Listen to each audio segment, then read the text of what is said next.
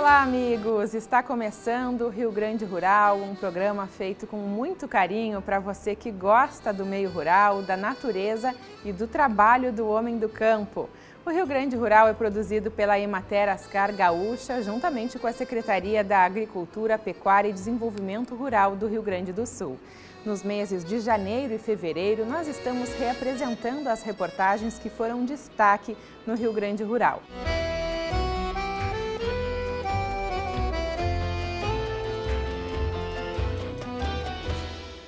A Emater Ascar, através das unidades de classificação e certificação, presta serviço de classificação de produtos vegetais, com análises físicas e químicas para proporcionar controle de qualidade e segurança nos alimentos. Vamos conhecer o trabalho de classificação e certificação da soja, realizado na unidade de Rio Grande, que certifica a qualidade do produto que é exportado para outros países.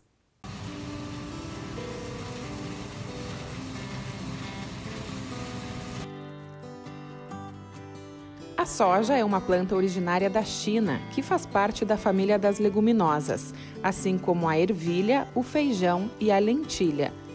O Brasil é um dos maiores produtores do mundo, com produção anual de 131 milhões de toneladas no país, em uma área plantada de 38 milhões de hectares. No Rio Grande do Sul, são 6 milhões de hectares plantados na safra 2020-2021, com previsão de produção de 20 milhões de toneladas. De dezembro de 2019 a dezembro de 2020 foram exportadas 9 milhões de toneladas de soja que saíram aqui do Porto de Rio Grande com destino a oito países. Desse volume, aproximadamente 7 milhões de toneladas, ou seja, 73% da soja exportada, passaram pela classificação e certificação da Emater. Subimos até o navio para conhecer essa mega estrutura que atravessa oceanos, levando os grãos produzidos por aqui.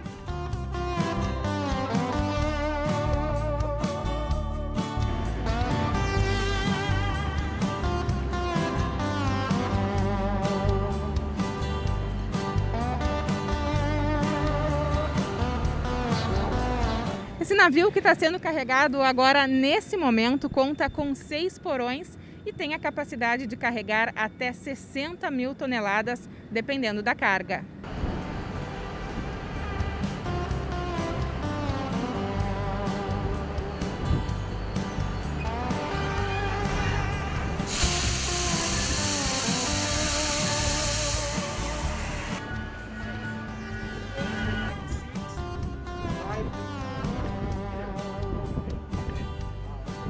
Uma viagem que leva até 60 dias para chegar até o outro lado do mundo. Mas antes do embarque, os grãos passam pela classificação e certificação da Emater. Aqui em Rio Grande nós temos a oportunidade né, de prestar o serviço de classificação vegetal voltado principalmente para a prestação de serviço de N15. Essa N15 é uma certificação exigida pelos organismos internacionais para a parte de certificação da qualidade da soja exportada. Então, aqui em Rio Grande, através do porto, nós vamos até os terminais, realizamos coletas conforme as, o nosso manual da qualidade, também as instruções normativas do Ministério da Agricultura, e em cima desse lote coletado nós realizamos análises químicas, físicas e microbiológicas de acordo com as necessidades do contrato né, e das legislações e determinamos o padrão de qualidade desse produto que vai ser exportado, que vai sair, no caso do nosso país, e vai para esse mundão afora e todo. Boa parte dessa soja é fruto do nosso chão, é, é o resultado do esforço da nossa agricultura. Então, nossos agricultores, eles semeiam o solo, produzem a sua safra e, em parte, alguns mandam diretamente para o porto e outros repassam para as cooperativas.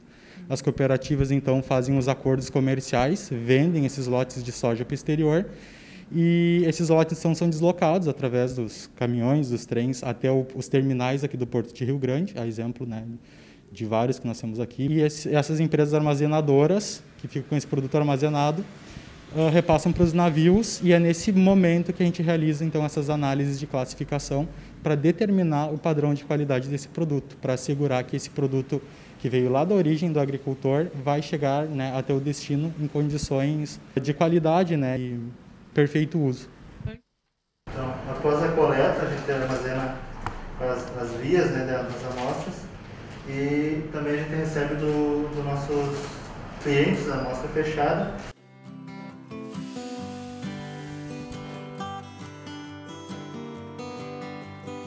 Em seguida é realizada a pesagem.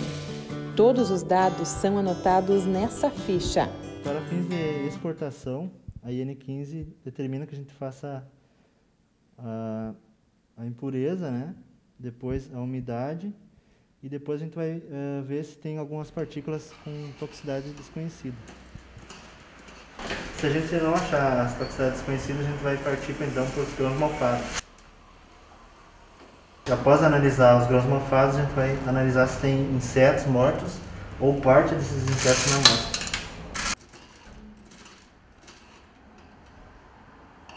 Aqui a gente vai anotar então se vai se teve análise laboratorial ou não e a amostra está classificada na IN15. Depois de classificados, os grãos são doados para o Programa de Combate à Fome e Desperdício de Alimentos. O Mesa Brasil é um projeto nacional do SESC, em parceria com as prefeituras locais. Em Rio Grande, conta com a parceria da Emater desde 2010.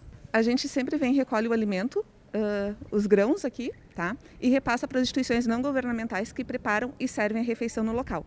Nesse momento, mesa de pandemia, o Mesa Brasil também está atendendo aquelas, aquelas instituições que estão atendendo as famílias através de cesta básica. Então, elas não estão se alimentando na instituição, mas estão recebendo esse alimento, já que a situação de vulnerabilidade social está aumentando.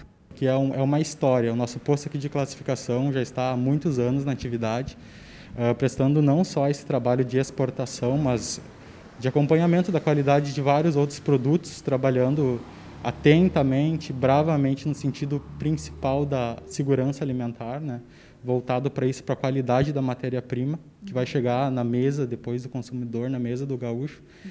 E a gente ter essa credibilidade que nós temos e essa amplitude que nós temos dentro do nosso nicho de atividade é um motivo assim de grande satisfação e de orgulho e também de gratidão pelos técnicos que trilharam esse, esse, esse trajetória, essa trajetória toda para que hoje em dia a gente consiga ter esse reconhecimento. Né?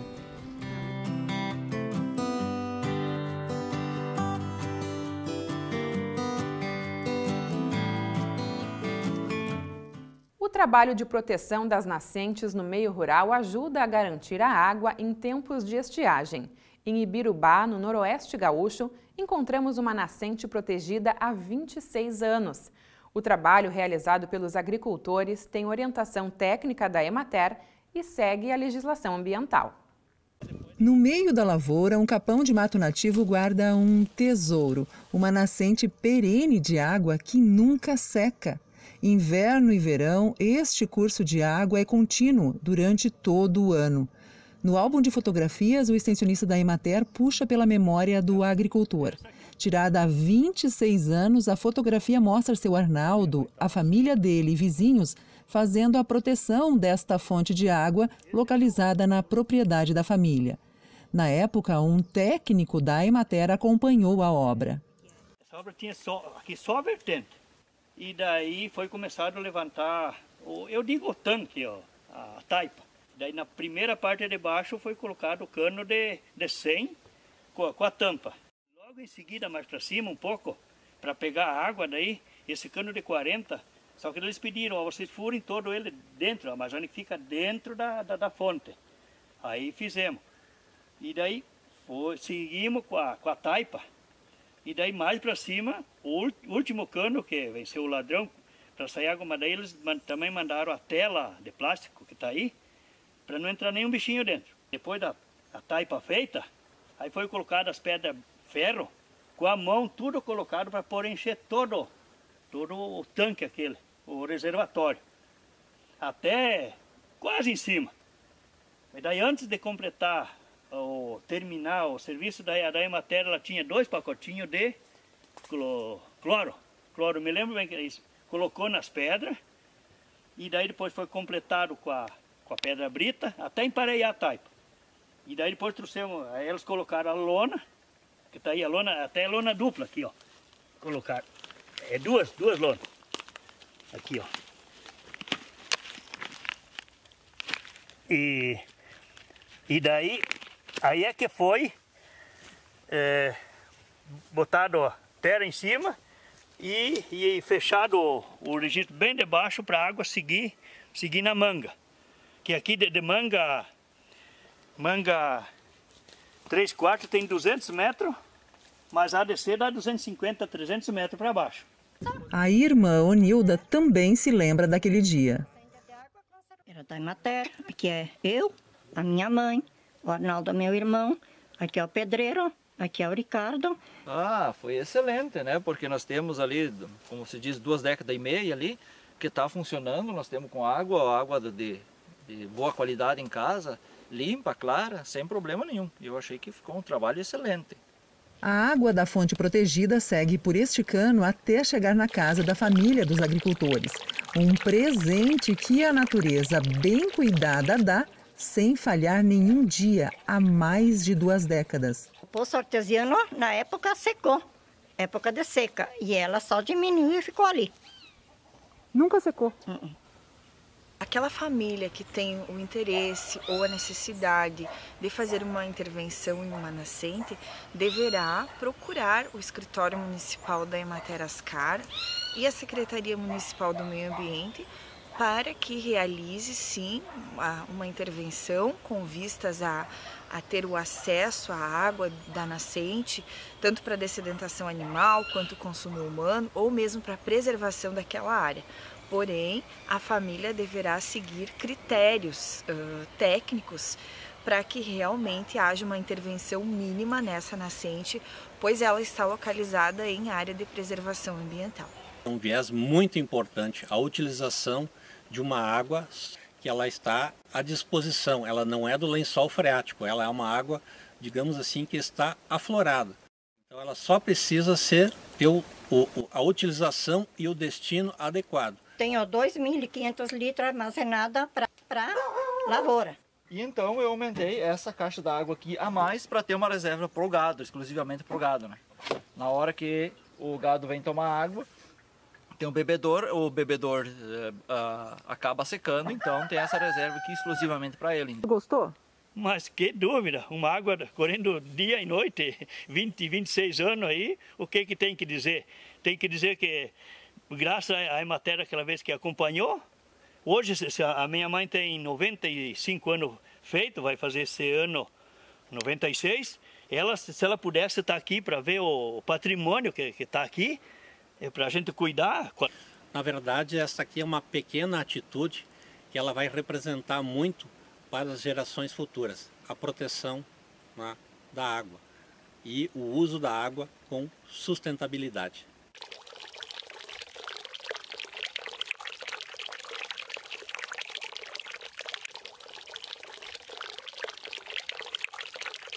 Nós já voltamos.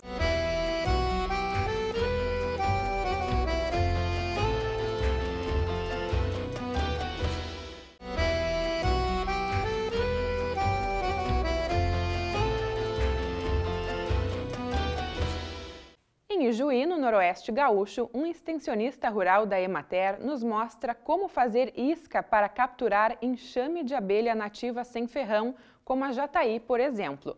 Bem feita, a isca imita um tronco de árvore. O objetivo é preservar as abelhas. Ao invés de extrair os enxames que estão na natureza, a ideia é atrair para a isca, por livre vontade, novas inquilinas dispostas a permanecerem e produzirem mel dentro da nova moradia artificial. Veja como é fácil de fazer. Como fazer essa isca de captura de enxame de abelhas nativas sem ferrão? Para nós fazermos essa isca, precisamos de alguns materiais muito básicos. Né?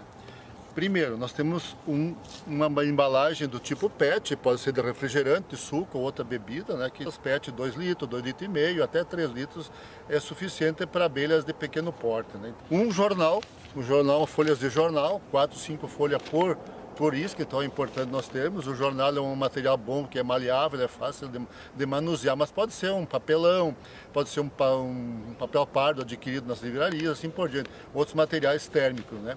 Também precisamos de uma lona preta para fazer o envolvimento dessa isca, né? Então, é outro material. Precisamos de um atrativo de captura, que é feito com álcool e cera de jataí, nesse caso aqui. Então atrativo. E para fixar todo o material, algum tipo de, de fita adesiva. Tem vários tipos, a gente escolhe aquele que melhor se adapta ao nosso trabalho, né? Bem, nós fazermos o atrativo que eu falei antes na hora de confeccionar a isca de captura, essa mistura que nós temos aqui com álcool e cera, nós usamos uh, apenas dois ingredientes, né? que é o álcool, né? álcool 96 graus, né? pode ser o álcool 70, ele é mais fraco em teor alcoólico, mas de, de, aí demora um pouco mais para ficar pronta essa, esse atrativo. Então eu tenho usado o 96 que em torno de 20 dias depois está pronto o atrativo. Né? Usamos cera, né? essa cera que está aqui na mesa, né? cera da Jataí, é onde está envolvendo o mel e o pólen, essa cera escura, que é uma cera propolizada, tem bastante teor de própolis misturado com cera, né? E uma embalagem pode ser pequena, assim, pode ser de um litro, dois litros, depende o gosto de cada um e a quantidade de cera que tenha é, pronta e quanto quiser fazer de atrativo. Então eu estou usando aqui uma garrafinha de 500 ml, né? Que nós vamos é, colocar 300 ml de álcool 96 graus. Vou colocando a cera aqui dentro agora, para ela ir diluindo essa cera, então ela tem esse poder de deixar aromas uh, específico da, da jataí, no caso, mas ele pode capturar outras espécies de abelha. A gente já tem a, experiência de, usando esse atrativo com cera da jataí, uh, consegue atrair outras abelhas nativas que, porventura, estejam naquele local onde nós colocamos a isca de captura com esse atrativo feito então com a cera propolizada e o álcool. Né? Fechamos. É importante todo dia dar uma sacudida, né? para que agilize então o processo de diluição dessa cera com o álcool. Em torno de 20 dias depois de, de feito essa, esse processo aqui, está pronto para usar na isca de captura esse atrativo.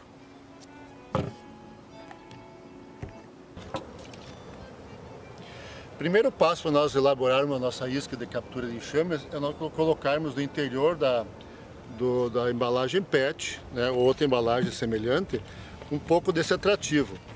Balança ele para é, molhar por dentro, deixar então essa mistura é, por dentro da embalagem, que ela vai ter o, o, atrativo porque ela tem o cheiro das abelhas nativas sem ferrão. Né?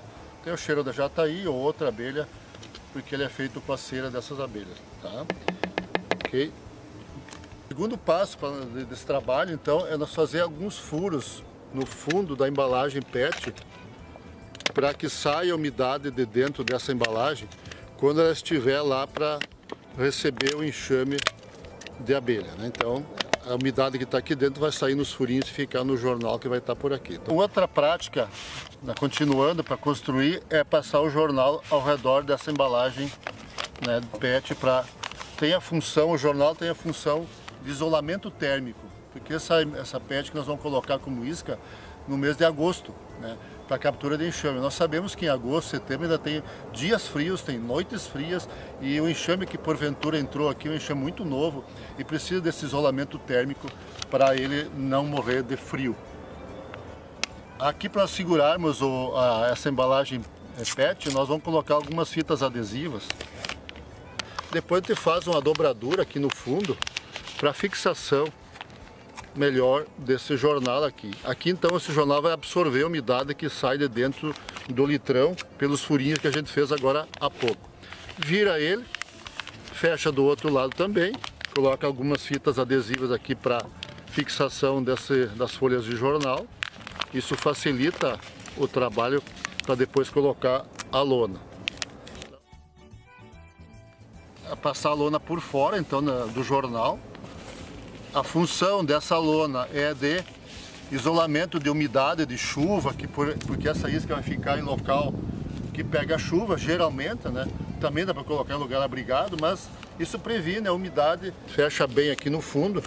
E outra função dessa lona preta é escurecer por dentro a, a isca, né? Então, porque a abelha vai trabalhar no escuro. Se tiver muita luminosidade interna, ela não permanece nessa isca de captura, vai embora.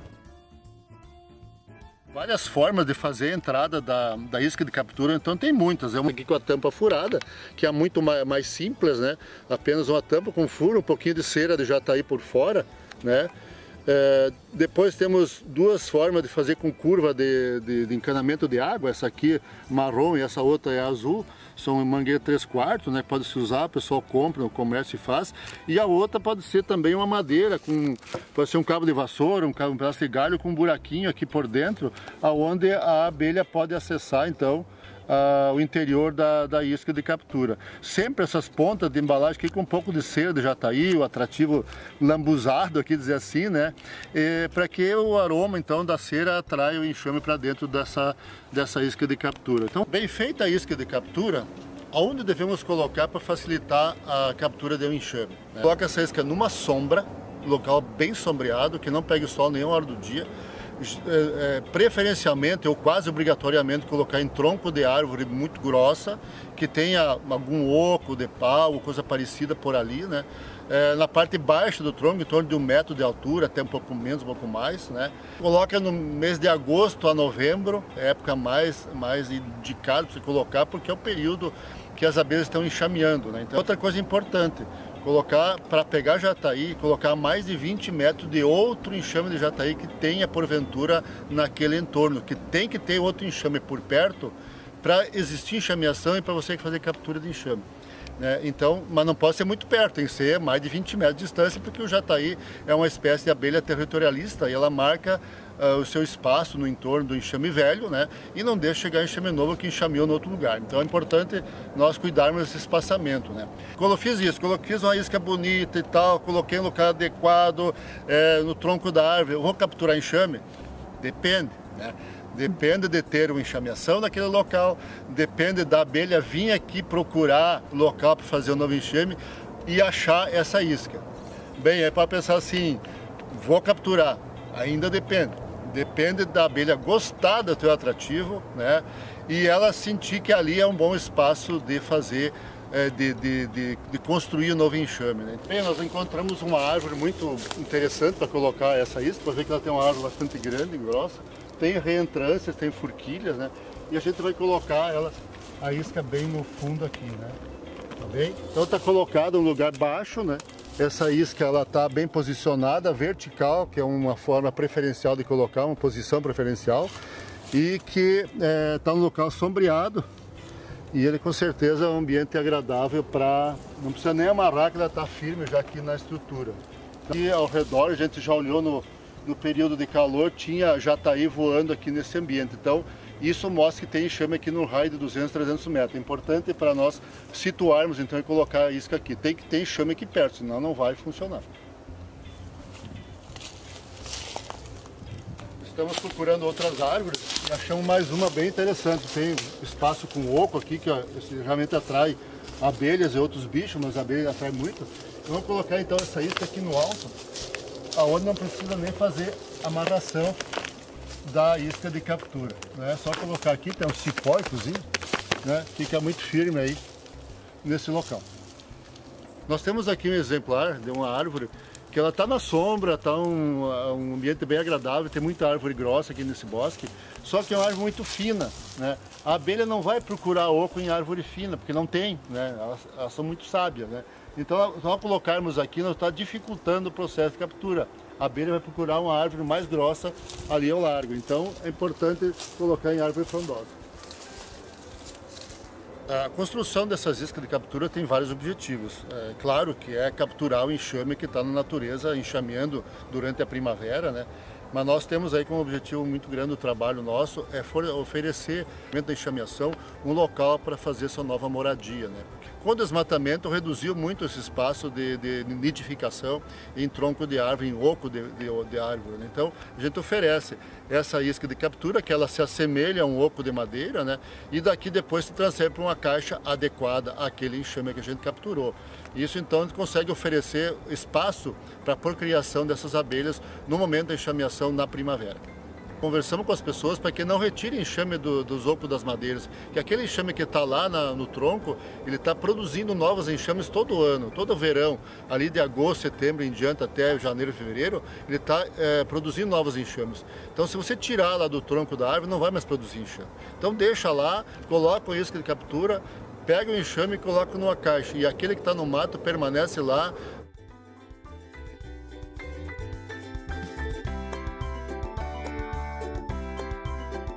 Nós já voltamos.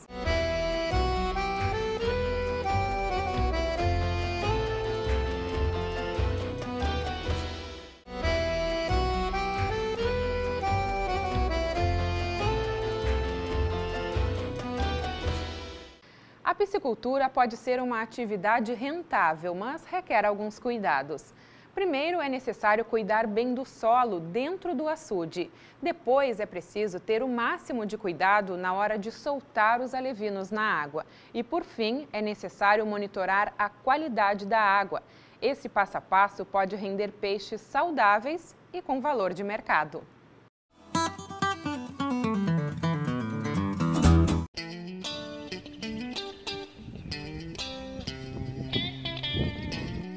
Depois do açude pronto, como nós estamos vendo aqui ao nosso redor, estamos dentro de um açude recém-construído, precisamos preparar essa área para que os peixes que se criem melhor e engordem muito bem. A preparação começa já no início do trabalho com a calagem, que é a distribuição do calcário nessa superfície que vai ter a água aqui dentro. Né? O ideal é se fazer uma análise de solo, como você faz para uma soja ou para milho, né? mas se não for possível fazer análise de solo, se recomenda adicionar em torno de duas toneladas né, por hectare. Então, a, a, forma prática é distribuir no metro quadrado é, essa proporção. Aqui tem 200 gramas de calcário no metro quadrado. Né? E você vê a densidade que fica do pó de calcário nesse metro quadrado e a partir disso espalha em toda a área do açude a quantidade que está calculada. Né? Bueno, feita a calagem para correção do pH do solo e por consequência correção do pH da água, né? É, passado alguns dias a gente coloca uma adubação orgânica pode ser um adubo orgânico, é derivado dos animais, né, curtido, já não se usa adubação é, crua, né, sem, sem fazer a compostagem, porque ela, sem compostar ela vai concorrer com o oxigênio da água do peixe depois. Né? Então é importante um adubo orgânico já curtido. Né? Ou também pode-se usar um adubo químico, um NPK, um, tri, um fosfato, superfosfato triplo, ou né, assim por diante. Né? É, então o adubo o químico também pode ser usado. Essa essas adubações, ela tem por finalidade fertilizar a água, colocar nutrientes na água. E coincidência dos raios solares, é, essa água vai criar algas, né? E essas algas vão alimentar os micro-organismos que tem nesse ambiente de água aqui do açude, né? Quando nós colocamos água no açude, depois de fazer adubação, correção com calcário, a água vai, depois de 20 dias, com insolação boa e calor, ela vai ficar esverdeada, que é uma grande produção de algas. É a hora de entrar com o alevino. Né? Bem pessoal, como nós comentamos, depois do açude estar pronto e com água, é importante nós colocar os alevinos para fazer a engorda. Alguns cuidados são fundamentais para a soltura do alevino dentro da água de açude. Né? Um fator muito importante é que a temperatura da água do açude e a temperatura de dentro da bolsa seja semelhante, no máximo variação de 1 grau. E isso normalmente não acontece. Esse peixe que está aqui nessa bolsa com oxigênio, ele aconteceu o que nem acontece normalmente. Ele veio dentro de um carro ou numa caminhoneta e esquentou essa água, que o dia hoje está quente, né? E a água do açude está um pouco mais fria. Então nós temos que deixar aqui essa bolsa sobre a água na sombra, nós temos a sombra de uma árvore aqui em cima, e que ela vai é, uniformizando essa água, equalizando a temperatura da água de dentro da bolsa com a água do açude para que o peixe, então, quando for solto na água, não sofra um choque térmico e acabe morrendo hoje ou amanhã ou depois. Né? Então, o, com isso, o produtor perde o seu dinheiro e o seu entusiasmo pela criação. Né? Outro cuidado muito importante, enquanto o peixe vai né, equalizando a temperatura da água, é o pH desse açude. Né? Então é importante nós monitorar o pH, assim como lavoura de soja, milho, trigo, nós temos que preparar o, o campo, aí, lavoura, o solo para cultivar. Então o peixe também, o pH da água é importante. Né? Ele pode estar vindo de uma água com pH bom, e chegar num açude com pH incorreto, muito baixo principalmente, pH abaixo de 5 muitas vezes, e que esse choque também terá problemas na sobrevivência do peixe. Outra questão de amônia também importante nós olharmos, nitrito, né, é, assim por diante. Então, é, é, oxigênio na água, o oxigênio muda durante o dia, pode variar durante o dia, depende da água, depende do açude, depende da insolação.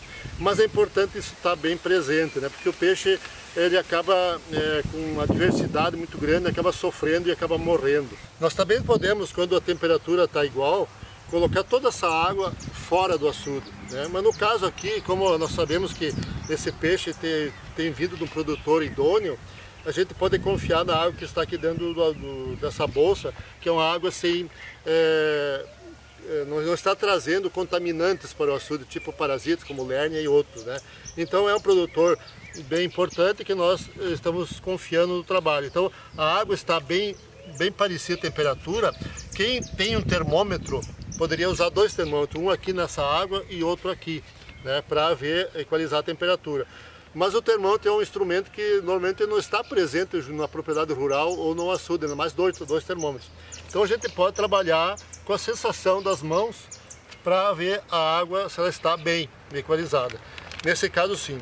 Então o que, que se faz agora? Lentamente nós vamos virando a bolsa para não é, para que os peixes não saiam muito rápido e a água do açude aos poucos vai entrando dentro dessa bolsa, né? Aos pouquinho vai entrando e aí o peixe vai vendo que está tendo água um pouco diferente chegando no ambiente que ele está agora. Lentamente, né, se ele gostou da água, ele vai saindo sozinho. É, olha aí, ó, já está saindo, né? Aí, ó. Quando a água é muito diferente, temperatura e outros, outros critérios mais, o peixe realmente vai lá para o fundo e refuga essa água diferente. Aqui eles estão saindo e a gente vai colocando eles na água que eles vão viver, crescer e engordar. Agora que nós já temos o peixe colocado dentro da água, é importante fazer monitoramento do crescimento desse peixe. Nós temos algumas formas de acompanhar isso. Existe um kit de análise de água que ele é muito prático de ser usado na propriedade. Né? É, nessa caixinha tem um disco de SEC, que nós medimos a turbidez dessa água. Esse disco é assim, ó, você coloca dentro da água né? e vai descendo com ele. Tá, uhum. Vai descendo. Quando ele, o preto e branco começar a sumir, né? começar a sumir aqui, aqui, eu olho o quanto é que deu aqui deu 17 centímetros. Essa água está muito turva. Qual é o motivo? É barro, é matéria orgânica, é alguma coisa tendo essa água muito escura. O ideal é ficar em torno de 30 centímetros, onde some o disco. Né? Então, a partir disso, você está alimentando os peixes com matéria orgânica, segura a alimentação. Tem muito excesso. Né? Se for turbidez por, por argila, então tem que clarear essa água, talvez colocar uma, uma, um calcário, outra matéria orgânica, matéria orgânica, que daí a argila, a água decanta. Né? Então esse disco de SEC é muito simples e nos dá um punhado de informações que nós podemos analisar a água a partir dele. Então, isso o produtor não precisa adquirir, ele pode comprar, aliás, pode fazer qualquer rodela de metal, de madeira ou de plástico mesmo, pintar preto e branco aqui, né? E uma, uma, fita métrica de 10 em 10 ou de 5 em 5 é suficiente para fazer né, a medição. Se não tem ainda e não quer fazer, pode ser feito da seguinte forma. Botar a mão na água, né, e o ideal é que a água viesse até aqui para nós ir sumir a mão. Nesse caso ela está sumindo aqui, 17 centímetros. Aqui daria em torno de 30 quando você tem termômetro, você tem disco de SEC, você pode ainda analisar o açude de forma bastante simples, mas que dá algumas informações uh, da qualidade dessa água que está para a produção de peixes. Temos alguns reagentes aqui dentro para fazer os testes para analisar a condição de água. Né? Também existem é, instrumentos eletrônicos para análise de água, mas o custo é bem mais elevado. Então, esse kit já é suficiente numa propriedade rural para cuidar da qualidade da água. Tendo qualidade de água, eu sempre comparo com a qualidade do solo numa lavoura de soja, milho, trigo, ou a qualidade de um pasto de produção leiteira. É meio caminho andado, nós temos um bom alevino colocado nessa água e temos um acompanhamento da qualidade de água. É meio passo andado para uma boa produção, uma boa engorda dos peixes.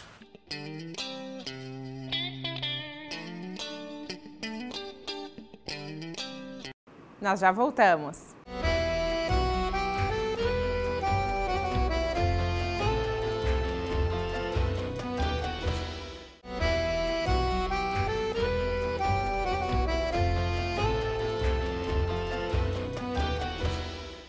Organização da propriedade rural é um dos aspectos que contribuem para o bem-estar e a qualidade de vida das famílias que vivem no campo. Além da organização dos arredores, de realizar práticas de paisagismo e jardinagem, o projeto Jardins do Norte Gaúcho, desenvolvido pela Emater, está transformando as propriedades rurais da região norte do estado em espaços agradáveis de se viver e trabalhar. Confira!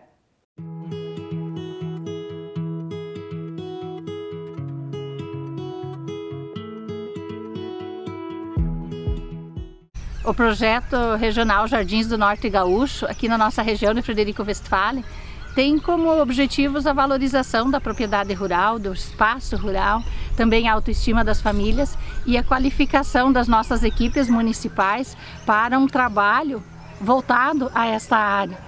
E isso tem envolvido as famílias, os jovens, os casais, o nono, a nona, gerando uma saúde também mental, um melhor relacionamento e muitas famílias têm se dedicado à produção para a venda, então gera também uma renda a mais nas famílias, além de uh, melhorar as propriedades para aquelas famílias que recebem muitas visitas ou turistas quando eles vendem os seus produtos. E este projeto, ele contou com as mais diversas parcerias dos nossos municípios. Então outras entidades também uh, se envolveram com o projeto, com essas ideias, apoiando este trabalho, porque realmente valoriza a propriedade rural. É o trabalho de melhoria nos galpões, também a questão do destino dos dejetos, também uh, o destino das embalagens, além da melhoria nos porões e, é claro, o jardim o lugar de estar da família, de conviver, de tomar o seu chimarrão, precisa ser o melhor lugar do mundo. Essa é a ideia do projeto Jardins do Norte Gaúcho.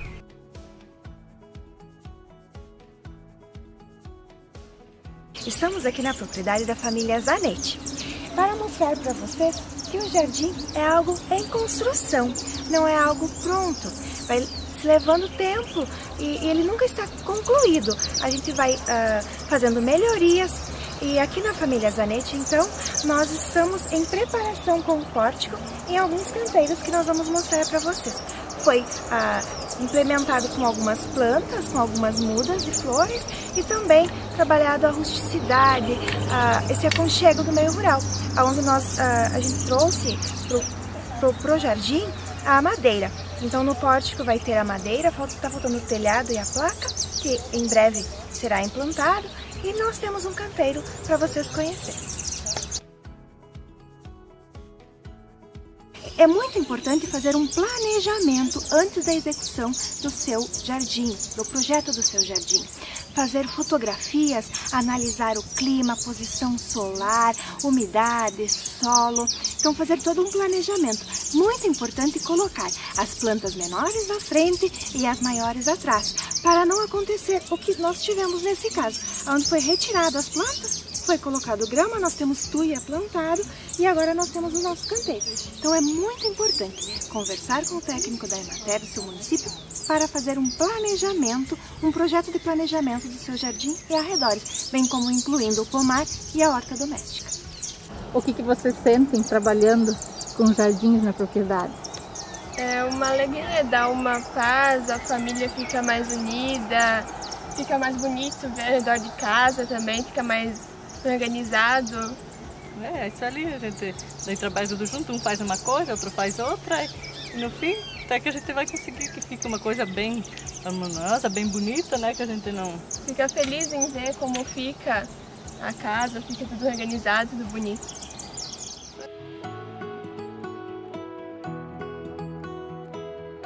Numa casa que não tem flores, coisas assim, não, não tem muito sentido, sabe? Tu Tu chega num lugar que tu não vê uma flor numa casa, não, não, a gente não parece que não se sente bem, sabe? Flores é tudo numa, numa casa, numa família. Beleza. Ah, Fica bonito. Ao redor da casa, tudo. E que nem aqui que o William está plantando as gladiolas, né? Também é uma fonte de renda para a família, né? Para ele principalmente. Pra né? ele, né? E viver numa propriedade organizada, assim, uhum. com um uhum. jardim bonito, faz diferença. Faz. É é muita diferença. Senta na área, vê as flores floridas, fica, é muito bonito.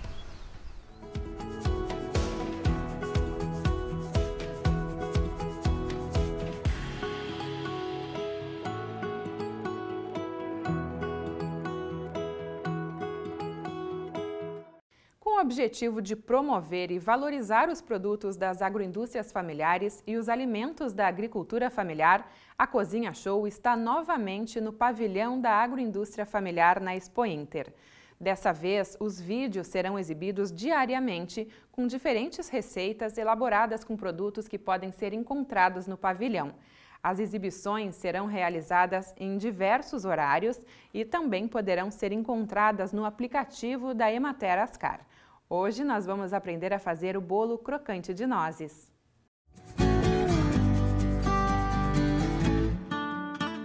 Olá, eu sou Adriana Conzati, sou extensionista rural social da Emater Ascar e nutricionista. Hoje vamos aprender a preparar um bolo crocante de nozes na Cozinha Show da Expo Inter 2021. Esse espaço tem como objetivo dar visibilidade e incentivar o consumo dos produtos das agroindústrias familiares e dos alimentos locais da agricultura familiar. E é coordenado pela Emater Ascar, que assessora as famílias rurais na inclusão social e produtiva e que encontram nas agroindústrias um espaço para utilizar a sua produção, agregando valor, gerando renda e contribuindo para a garantia da segurança e soberania alimentar. Para preparar o bolo crocante de nozes, você vai precisar de 10 colheres de sopa de manteiga, 2 xícaras de açúcar mascavo, 4 ovos, uma xícara de água, uma xícara de farinha de milho, uma xícara de farinha de trigo e uma colher de sopa de fermento químico em pó. A manteiga, o açúcar mascavo, a farinha de milho e a farinha de trigo podem ser adquiridos das agroindústrias familiares em várias regiões do estado. Procure a mais próxima. Vamos iniciar o preparo misturando as farinhas e o fermento em uma vasilha.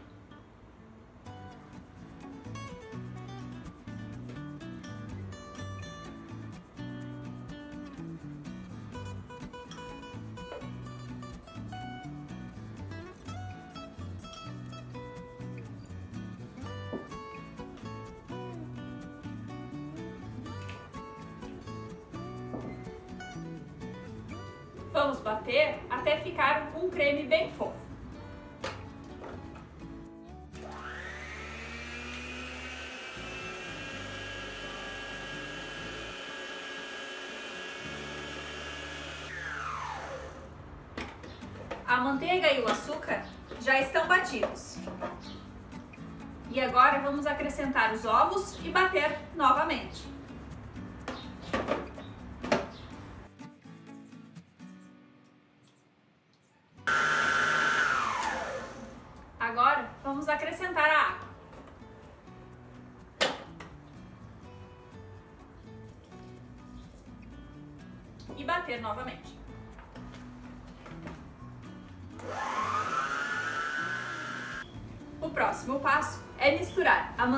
O açúcar, os ovos e a água já batidos com as farinhas e o fermento.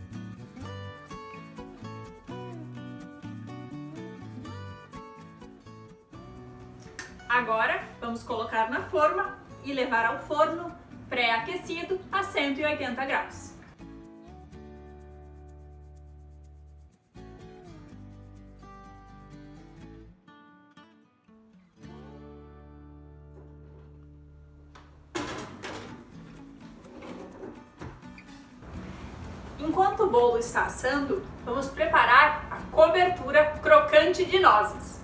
Para preparar, vamos precisar de 4 xícaras de nozes picadas, uma xícara de açúcar mascavo, uma xícara de mel e uma xícara de manteiga. Esses ingredientes você pode encontrar no pavilhão da agroindústria familiar da Expo Inter 2021 e com as agroindústrias familiares da sua região. Em uma panela, vamos colocar a manteiga,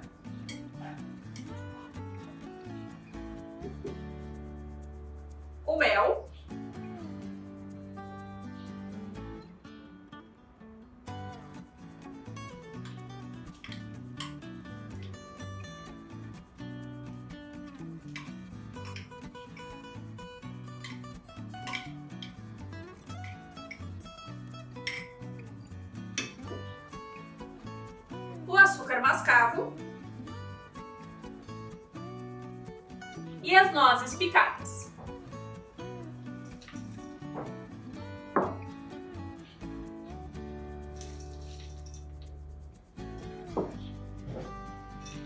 Agora vamos misturar e levar ao fogo por aproximadamente 5 minutos.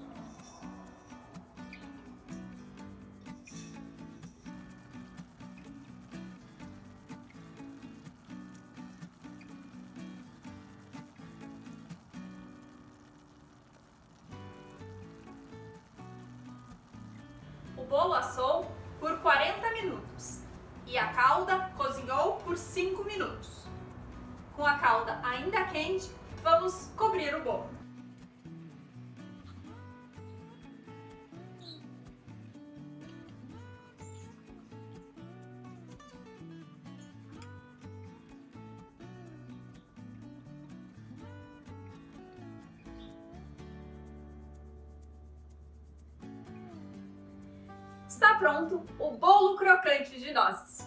Esta receita pode ser servida no lanche, acompanhada de suco de frutas, inclusive suco de frutas nativas, bebida láctea ou iogurte, que você encontra no pavilhão da agroindústria familiar da Expo Inter. Esses produtos e os ingredientes utilizados no preparo dessa receita você encontra também nas agroindústrias familiares da sua região, que você pode consultar no aplicativo da FEVAP, Feira Virtual da Agricultura Familiar. Eu sou Adriana Conzati e neste vídeo demonstrei o preparo do bolo crocante de nozes.